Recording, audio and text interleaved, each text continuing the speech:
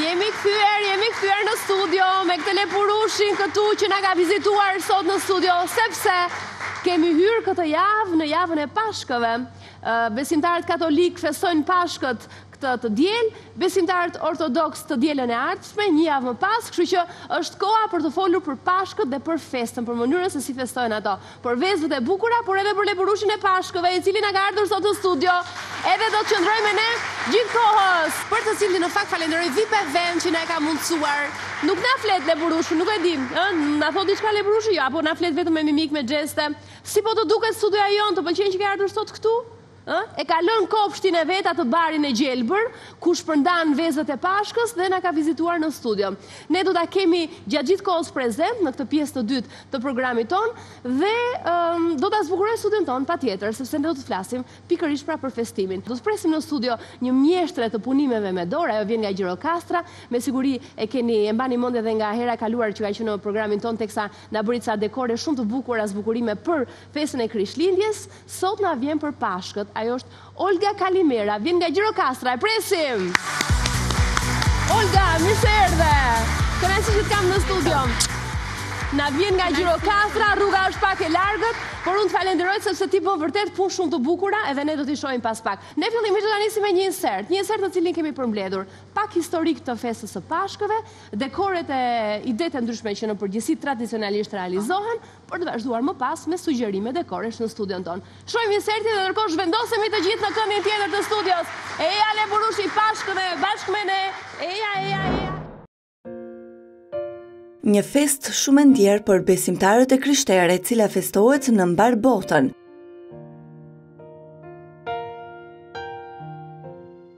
Festa e Pashkëve është një nga festat më të rëndësishme fetare edhe në vendin tonë. The day that Jesus died in agony upon Në këtë ditë gëzojnë të rritur dhe fëmijë. Ngjyrat e kësaj feste janë ato të pranverës. Tryezat mbushen plot e përplot me ushqime të shijshme, si dhe dekorohen bukur nga amvisat, ku nuk mungojnë vezët e pashkëve të ngjyrosura dhe të dekoruara.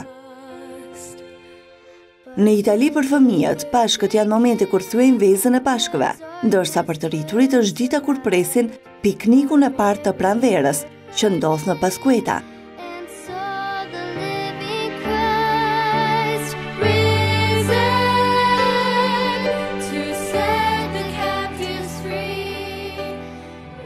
Ëmbëlsirat kryesore të festës janë kolomba dhe veza me çokollatë.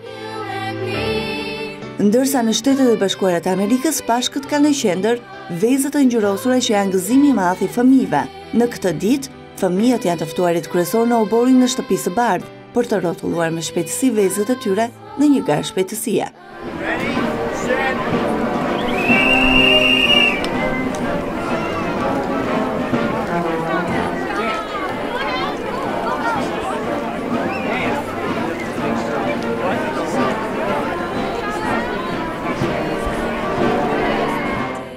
Ëmbëlsirat në formën e lepurushit, buka e pashkëve, si dhe vezët e ngjyrosura janë në qendër të tavolinës në drekën e pashkëve. Festimet në këtë ditë janë nga më të ndryshmet nga njëri shtet në tjetrin. Ngjyra e verdhë është ajo që dominon më së shumti në mbulesën e tavolinave, veshjeve, zbukurimeve, madje dhe tek qirinjtë. Mos harroni që në ditën e Pashkës të organizoni një ndër lojërat më të dashura për fëmijët. E gjitha konsiston në vendosjen e vezëve në vende të fshehta përreth shtëpisë apo në pjesën e oborrit. Fëmijëve u thuhet se është lepurushi i Pashkës, ai që ka ardhur dhe ka fshehur vezët në oborr. Në fakt janë prindërit ata që organizojnë gjithçka. Fëmijët dalin në oborrin e shtëpisë me shporta nëpër duar Në kërkim të thesarit, që janë vezët e pashkëve, ai që mbledh më shumë, fiton një vezë ekstra.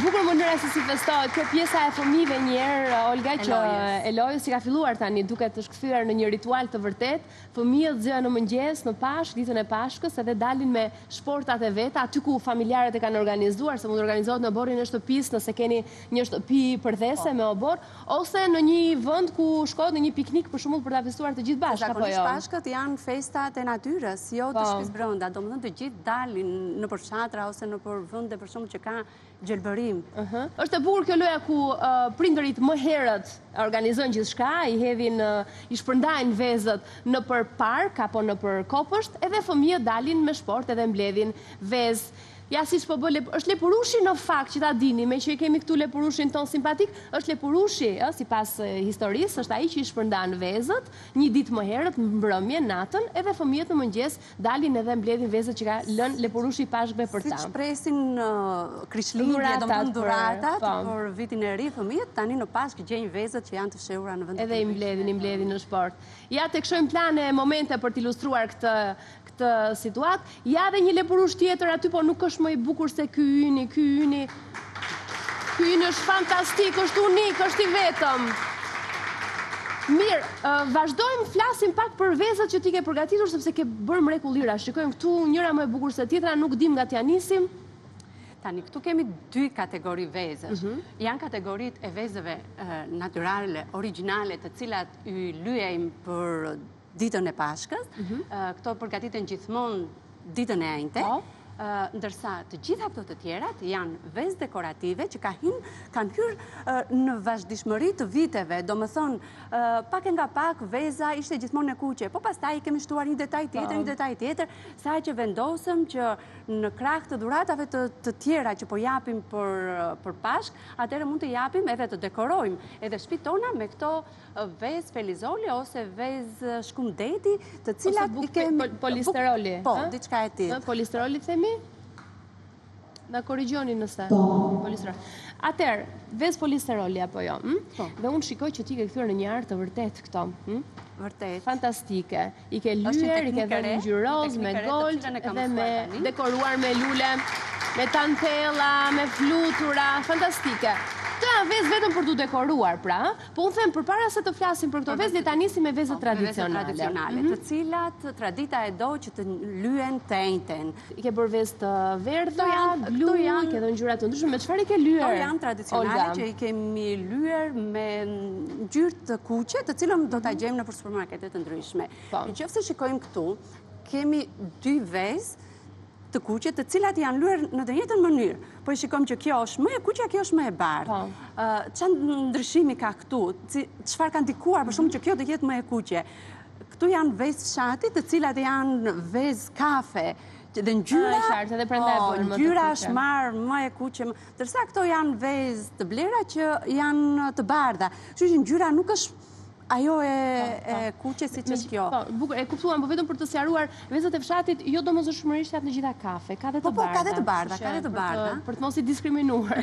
Vezët e bardha të fshatit mund të jenë edhe kafe dhe të bardha po, dhe janë gjithmonë të mira. Po, njëra kjo që mhm. është më e theksuar është se ishte po. kafe, ishte mhm. kafe. Shoh këtë këtu, shoh një vezë e cila duket shumë e këndshme kjo, sa e lehtë, sa e lehtë. Po, është e lehtë pasi neve kemi punishte edhe shpeshherë marrim pjesën e brendshme të vezës për ta Përdorur për ëmbëlsira të tjera. Këtë nuk e hedhim poshtë, atëherë i ruajmë dhe i bëjmë dekore të ndryshme. Po si e shponi, me çfarë e shponi vezën? Le ta kthejmë këtej në mënyrë që ta shohin teleshikuesit. Pra është hapur një vrimë e vogël këtu, me çfarë? Me një me një gjilpërë të vogël, pastaj ka mënyra të ndryshme për ta thithur vezën. Me një gjilpërë, çfarë gjilpëre? Gjilpërë normale, po, e zakonshme. Gjilpërë e zakonshme, duke e goditur vazhdimisht në një vend. shpesh herë vendosim edhe pak ngjitëse këtu që të mos hapet edhe gjilpëra të vejë direkt brenda në tek vendi që duam të shpojmë, e heqim pjesën e brendshme, kam një po, makineri që e thith, po kullon, edhe pastaj mbetet kjo bosh, edhe çdo njeri sipas talentit të tij mund të bëjë dekore nga më të ndryshmet dhe mund të zbukurohen. Mund të zbukurohen, që mos shikoni kështu kaq të zbukuruara, secili sipas talentit të tij. Unë për shembull nuk mund të pikturoj kaq bukur, po ka teknika të tjera të cilat mund t'i përdorësh edhe të dalin kaq bukur. Për shembull, ja këto që janë këtu, janë bërë me teknika majdanoz. Domethënë, kemi marrë një majdanoz. Gjethe majdanozi, bukur. E kemi mhm. vendosur sipër, kemi marrë një pjesë të mm, çorapeve që veshim neve gratë, getave, mhm. kemi kapur fort, edhe kemi vendosur brenda te ngjyruesi, te ngjyra e kuqe. Mund të jetë ngjyra e kuqe, mund të jetë ngjyra e verdhë, mund të jetë çdo lloj ngjyre, edhe pastaj, kur e heqim, Mbetet forma e gjethes. E kuptuam. Bukur. Mirë, dalim tek këto vezët e tjera të mëdha që ti ke realizuar, që ishin vezët me shkumë deti, bukë peshku që i themi ndryshe. Në qoftë se shikojmë për shembull, kjo ka mhm. tjetër teknikë, kjo ka teknikë tjetër, mhm. kjo ka teknikë tjetër. Të pëlqejnë, të pëlqejnë. Bëje kështu me gisht se s'të kupton njeri çfarë thua. Të pëlqejnë, ë? Po. Mhm. Edhe pastaj çdo njeri sipas gustos së tij, sipas dëshirës së tij, i stolis dhe ju jep aty detajet që do që ta bëjë më të bukur. E qartë. Kështu që për një ditë feste, ditë Pashkësh, le të themi që edhe tavolina në vetvete duhet të jetë një tavolinë feste. Pra, nis në mëngjes me këtë mbledhjen e vezëve nga fëmijët e vegjël, nëse kemi organizuar një festë të kësaj natyre, dhe më pas mamat përgatisin tavolinën. Një tavolinë e cila çfarë duhet të ketë patjetër si pjata të rëndësishme? Mishin e pjekur që duhet të ketë patjetër. Është një supë që bëhet me të brendshme të të qingjit, po që bëhet të shtunën në darkë, sa marrim... A, këtë s'e kisha dëgjuar këtë variant. Po, po. Di që është mish i pjekur, e dinit juve zonja? Që bëhet një supë në darkë. E dini, po, e dini, aha, ke shumë mirë. Supa që bëhet, domethënë, me të brendshmet e e qingjit, mund të jepet edhe të shtunën në darkë, domethënë, sa marrim dritën nga kisha dhe e sjellim në shpi, Ose mund ta përdorim edhe ditën tjetër në tavolinën ah, e qartë e Pashkës. Duhet të jetë patjetër uh-huh. uh, mishi dhe duhet pastaj gjëra tradicionale të cilat i përgatisim në fshat, që kanë lidhje me me fshatin. Prandaj themi që Pashkët janë gjithmonë uh, tradicionale të gatuara me shumë dashuri apo jo. Ti ke zgjedhur ngjyrat e pranverës në fakt në vezët që ne shohim që ti ke dekoruar për ne dhe që ke bërë shumë të tilla, sa të bukura dhe ato të varura aty janë të gjitha nga Olga të përgatitura, njëra më e bukur se tjetra, edhe kështu të kombinuara të gjitha bashkë, ndoshta në këtë planin këtej përballë ku jam unë duken më bukur sepse këtej më vijnë këto ngjyrat pastel, roza, bojëqiellja që ti ke zgjedhur, janë ngjyrat e pranverës apo jo? Janë ngjyrat e pranverës fiks, se pashkët këtë Këtë mesazh duan të na përcjellin. E qartë. Ringjallërimin e pranverës, ardhjen e një jete të re. Mhm, mhm. Dhe ti pikërisht me këto ngjyra ke vendosur të dekorosh edhe tavolinën e pashkës, drekën pra që realizohet. Po. E ke shtruar me një set pjatash të mrekullueshëm shumë pranveror. Ne kemi përgatitur një material, një insert. E kemi parë Olgën teksa përgatit për ne pikërisht tavolinën e Pashkës, se si ajo e arredon, që nga mbulesa deri te seti, gjithçka duhet në tavolinë për të pasur një tavolinë festive shumë pranverore. Le të shohim materialin.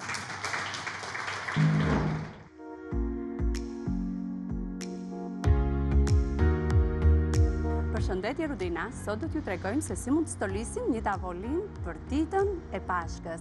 Sigurisht Pashkët janë një nga festat që bëhet kryesisht në fshat, jo në qytet. Prandaj neve për të dekoruar këtë tavolinën sot kemi përdorur ngjyrat pastel, ngjyrat e pranverës. Përdora një semen ose një mbulesë tavoline katrore të qëndisur në makinë e bardhë,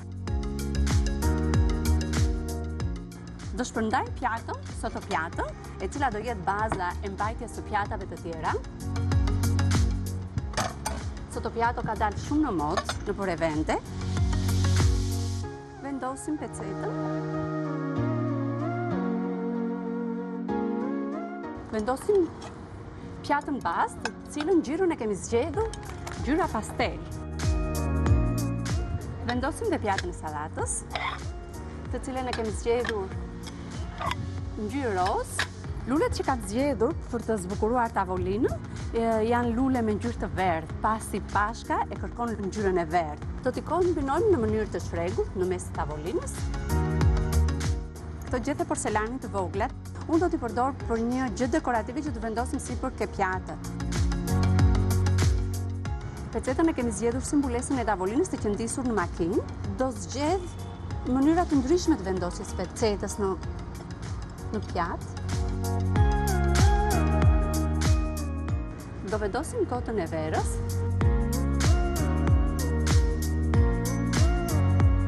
Këtë tavolin do ta zbukuroj edhe me një shishe vere, mbajtëse e verës, e cila është e punuar komplet në dorë me një punim dekupazhi.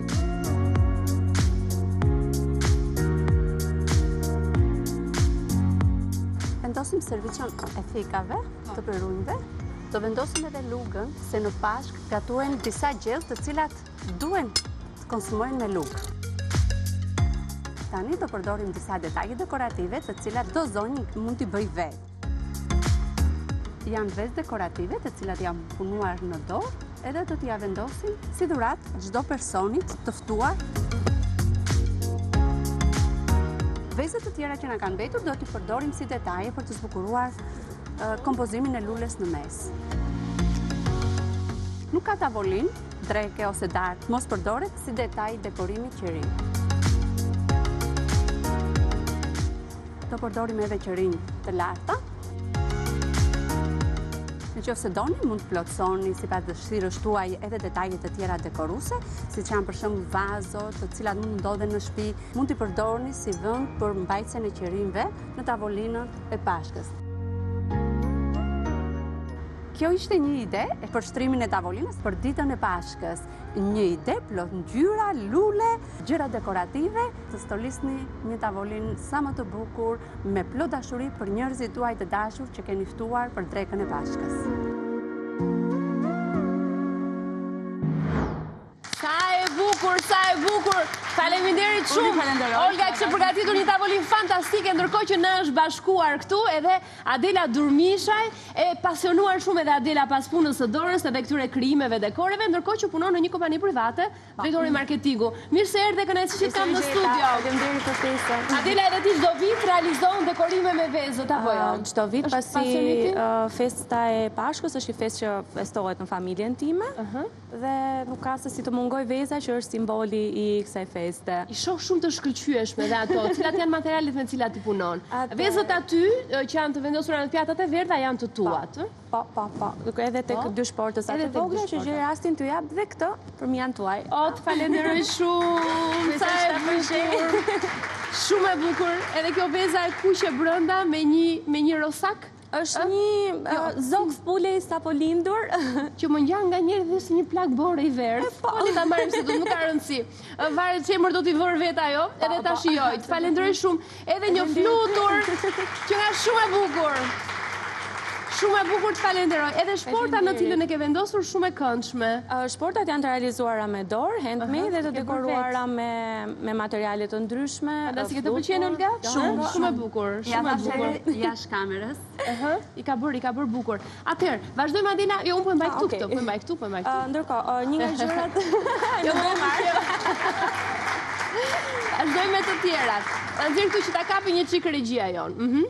Atëherë, po ta shikoni, po ta vëreni, dallon menjëherë që vezët kanë dekore të ndryshme. Po. Kjo e lidhur me një dëshirë timen për gjithkënd të cilit do t'ia dhuroj të ketë një vezë të veçantë, Dhe ndoshta dhe të lidhur me personin që do e marrë, si në rastin e Mias që do zgjodha që të ishte pikërisht një i porsalindur, i vogël, i porsalindur, po më shkon 3 vjeç e gjysmë, po i vogël, një fëmijë i vogël, një fëmijë i vogël, në një rast tjetër kam zgjedhur të kem lule, mhm. mund të jetë për një vajzë më të rritur, për një zonjë, shtëpi për një çift për shembull të sapomartuar që presin që të bëhen me një familje, ka pafund dekor, sigurisht kryqi që është edhe simboli mbas të cilit ka po, po. ka rrjedhur edhe festa. Gjithashtu edhe një element tjetër që e kam përfshirë në Pashkë dhe që nuk mungon është lepurushi. Lepurushi. Ne e kemi në studio, por unë i kam sjellë një lepurushe. Oh, një lepurushe për ty! Për lepurushin tonë! Një lepurushe e dashur, e dashur! Lepurushi faktikisht nuk mund gënë... Mendova që do bëhej xheloz, po në momentin që qenka lepurushe, jo. është lepurushe, është një gënë. Vetëm energji të mirë, vetëm energji të mirë. Lepurushi nuk mungon, pasi siç thatë edhe cituat dhe ju më parë, është një personazh që përveçse i sjell vezët, ai gjykon nëse fëmijët, apo ne jemi sjellë mirë gjatë sezonit para Pashkëve, në mënyrë që të japë apo jo dhuratat tona, që shpresoj të kemi një dhuratë të bukur, më pas. Ta puthim pak, ta puthim pak lepurushin tonë, që lepurushi ynë qenka shumë i ndrojtur. E paskemi shumë të ndrojtur lepurushin, po vajzat nganjëherë janë më të hedhura edhe puthin në faqe. Mirë, do ta mbash, do ta mbash pak hopa, se është e vogël. Që të mos na thyhen vezët gjatë zierjes, ka ndonjë sekret? Dini juve? Në fakt, mami e di këtë sekret më mirë sesa unë. Ajo i zien me shumë shumë kujdes dhe hedh edhe kripë sigurisht dhe me zjarr shumë të shumë të avashtë. Domethënë, unë gjithmonë kur i ziej vezët, meqenëse kam për të bërë një mijë punë të tjera, atëhere gjysmat janë të thyera. Dje, meqenëse i bëra pak me nge, domethënë nuk m'u thye asnjë gjë. Ajo që duhet të kemi parasysh është që Që t'i lëmë që të vijnë në ambient temperaturë, jo direkt nga frigoriferi, edhe t'i lëmë për gjysmë ore, një orë të ziejnë, po me zjarr shumë të avash. Shumë të avash, gradualisht. Unë ndërkohë kam 4 vezë këtu, 2 janë të ziera, 2 janë të paziera, edhe dua të di si të arrim të dallojmë, se mund të ndodhë që të ngatërrojmë vezët, edhe të marrim të lyejmë një vezë të pazier, edhe më pas imagjinoni se ç'mund të ndodhë në momentin që përpichemi ta qërojmë për ta ngrënë, ose të bëjmë këtë ka rastisur, që janë lyer vezët e paziera. Si t'i dallojmë vezët e ziera nga të pazierat? Ka një sekret. E dini? Rrotulloja. Po, nga rrotullimi. Duke rrotulluar. Atëherë duke rrotulluar vezën e zier dhe të pazier, cili është ndryshimi? Veza e zier rrotullohet më shpejt. Veza e zier rrotullohet më shpejt. Ah. Aha. Domethënë, tani unë nuk di se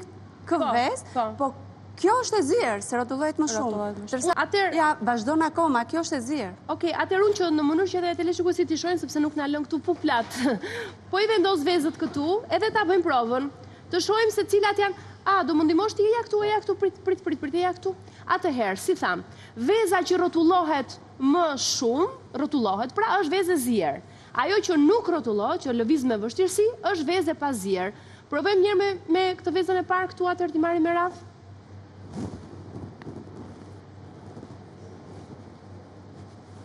Atëherë mund të themi fare mirë që kjo është një vezë e vezë e zier. Është e zier, është e zier. Provojmë dhe këtë tjetrën. Edhe ajo e zier. Edhe kjo e zier. Provojmë tjetrën. Kjo është e pazier. Kam përshtypjen që është e pazier. Ja, vazhdojnë cila do të vazhdojë të rrotullohet më gjatë, edhe pse këtë e kemi nisur që më herët vezën po. e zier, vazhdojnë njëkohësisht, dyfishin e kohës u rrotullua veza e zier, dhe ne thamë që kjo është e pazier, e zier? E pazier, po sikur u rrotullua m'u duk mua. U mm. rrotullua goxha, provo ta rrotullosh dhe një herë?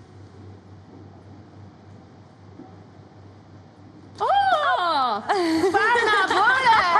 Çfarë na bëre? Bëre me porosh. Ishte për mbarësi, ishte për mbarësi. Na e theu një vezë po jap. Kjo ishte prova që ajo ishte vërtet vezë e pazier dhe për këtë arsye nuk rrotullohej. Dakord, faleminderit shumë. Faleminderit shumë le purushi ton. Pra veza që rrotullohet është e zier, ajo që nuk rrotullohet është e pazier. Kemi publicitet, kthehemi shpejt. Për një tjetër prezantim vezësh shumë origjinale dhe ato, do t'i shohim pas pak, publicitet.